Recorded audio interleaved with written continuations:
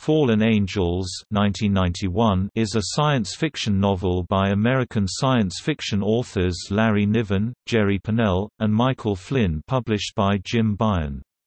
The winner of 1992 Prometheus Award, the novel was written as a tribute to science fiction fandom, and includes many of its well-known figures, legends, and practices. It also champions modern technology and heaps scorn upon its critics, budget-cutting politicians, fringe environmentalists and the forces of ignorance. An e-book of this text was among the first released by the Baen Free Library. The novel takes aim at several targets of ridicule, Senator William Proxmire, radical environmentalists and mystics, such as one character who believes that one cannot freeze to death in the snow because ice is a crystal and crystals are healing.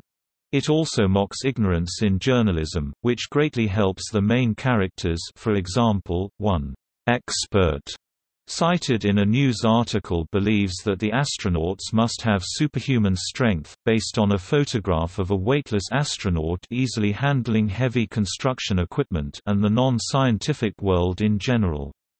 Several real people are tuckerized into the book in a more positive light, including many fans who made donations to charity for that express purpose and a character called RMS Presumably Richard M. Stallman who leads a network of hackers called the Legion of Doom, connected by a series of BBS systems.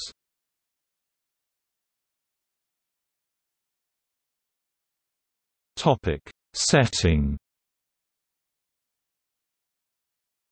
Set in an unspecified near future one of the main characters has childhood memories of the Exxon Valdez disaster in which a radical left-wing environmentalist movement has joined forces with the religious right through a shared distaste for modern technology.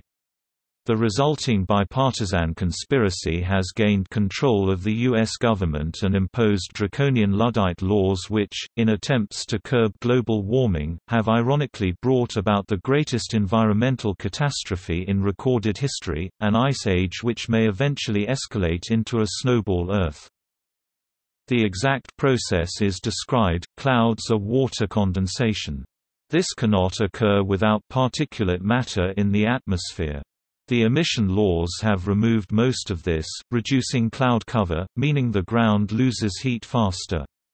This in combination with the drop in greenhouse gases has resulted in the return and exacerbation of the Little Ice Age, now self-perpetuating as glaciers have a much higher albedo.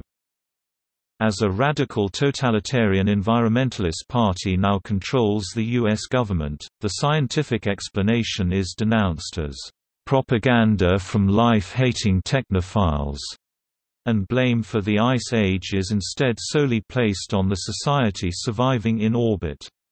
Science fiction fandom forms the core of a pro-technology underground in the United States, working in tandem with hacker movements. Other technologists, accused by the government of pursuing materialist science, were removed from their jobs and forced underground, where they were generally unable to continue their work. This rabid distaste for technology has resulted in the collapse of the economy and lack of education and a complicit media has left the majority of the population credulous and easily manipulated. The Greens have been in power for most of the lives of the characters. As glaciers rapidly advance south, Canada and the northern United States are all but destroyed. Near the edge of the glaciers, in Milwaukee, barbaric feudal systems arise as the federal government and markets collapse, leaving violence and disease in their wake. In orbit, Mir and Space Station Freedom survive in tandem with a lunar colony, but with no support from Earth. The city of Winnipeg is the last major outpost of Canadian civilization, warmed and inhabitable due to immense amounts of solar power beamed from the space stations.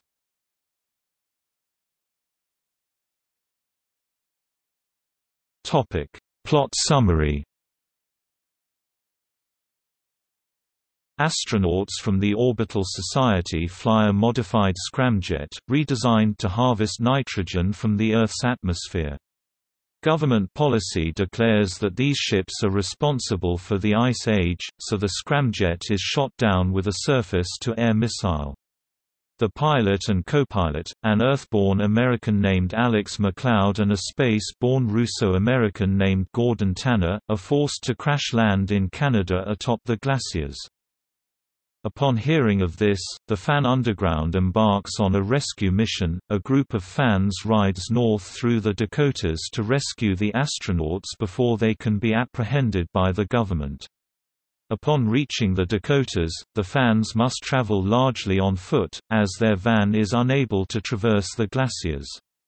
However, they have a major advantage over their foes in the government, their relationship with the space station provides them with superior navigational abilities. Following the fall of scientific society, the United States Air Force USAF no longer enjoys access to satellite reconnaissance. The fans are able to reach the downed spacecraft well in advance of the USAF. Their escape is aided in a similar manner. Though the Angels are unable to walk due to their overexposure to weightlessness and must be dragged along on sleds, the microwave power transmission beam reserved for Winnipeg is diverted to warm the travelers as they return south to their van. In addition, a tribe of nomadic Inuit people shares supplies with them in thanks for the warmth provided by the microwave beam. Upon finally reaching their van, the rescuers flee to a small science fiction convention of some 50 fans at a mansion owned by one of their own. Once there, one of the fans takes on the role of personal trainer to help the angels adjust to Earth's gravity including various asana from yoga. At the con, the fans brainstorm a daring plan. Before the Greens had come to power, one of the board of trustees for the Metropolitan Museum of Boston by the name of Ron Cole supposedly refurbished a Titan II rocket. This rocket still exists at the Museum of Science and Industry at Chicago. The fans and the Angels leave for Chicago just moments before the mansion is raided by the Green Police. The trip to Chicago gives the reader a brutal depiction of American life without basic technology. A blizzard forces the fans to take shelter in a farm town, where at least one townsperson dies in each blizzard for lack of heating oil. After hitching a ride in a consignment of cheese, the fans are captured by the feudal inhabitants of Milwaukee who are burning the excess houses in the city for heat.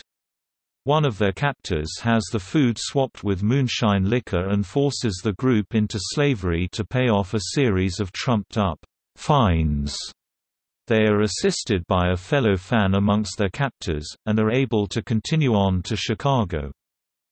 When the fans finally meet Ron Cole, their hopes are crushed. The rocket is a decaying wreck, and Cole is a shadow of his former self due to invasive re-education treatments. However, Cole is able to put them on another path, a privately constructed single-stage-to-orbit spacecraft at Edwards Air Force Base, disguised by the simple and effective method of its designer, Gary Hudson, declaring it non-functional.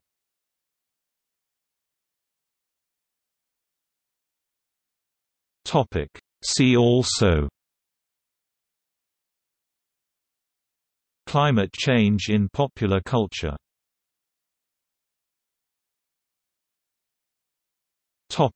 External links.